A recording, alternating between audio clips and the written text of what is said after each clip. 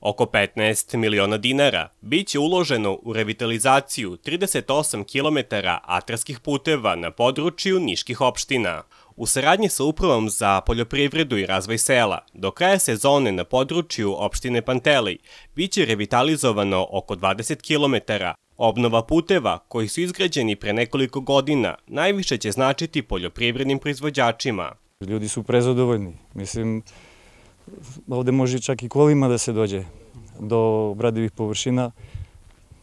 Trebalo bi da bude stimulans za ove generacije koje sve manje i manje odlaze na njive, znači upravo za poljoprivredu se trudi da privuče jednostavno taj mladi, mlađi naraštaj da, da krene sa tim radom, da to bude budućnost ove zemlje, poljoprivreda, mislim da nam je tu i perspektiva.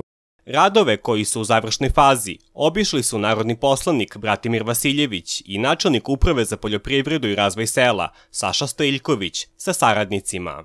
Predviđeno održavanje atarskih puteva u ukupnoj dužini 38 km.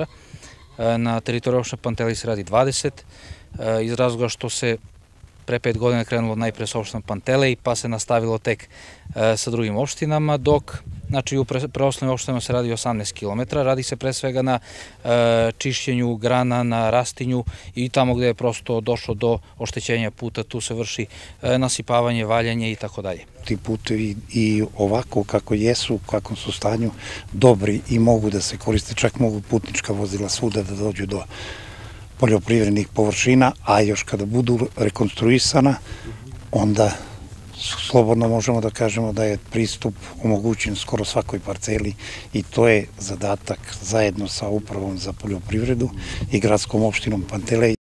Za mesec dana počeće izgradnja 8 km novih poljskih puteva, a za te radove grad je izdvojio 10 miliona dinara – Na području opštine Pantelej biće izgrađena 3 km i po 2,5 km novih atarskih puteva na teritorijama opština Palilula i Crveni krst.